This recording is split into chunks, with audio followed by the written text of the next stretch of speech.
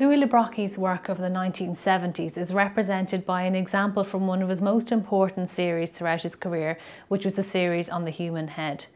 Now, this series was inspired by the artist viewing Polynesian masks in Paris in the 1960s, and it evolved um, by him starting a series uh, where he would use what we called an ancestral head, and then he took it further to include heads of famous writers, poems, and even musicians, including W.B. Yeats, Francis Bacon, Pablo Picasso, James Joyce, and most recently U2's Bono. Now this piece here is entitled Head with Spectacles, 1971, and it actually was inspired by the outbreak of civil warfare in Northern Ireland in 1969. The artist biographer Dorothy Walker writes, These peering heads, whose open mouths make dark apertures in the surface of the painting, stare aghast from within their own predicament.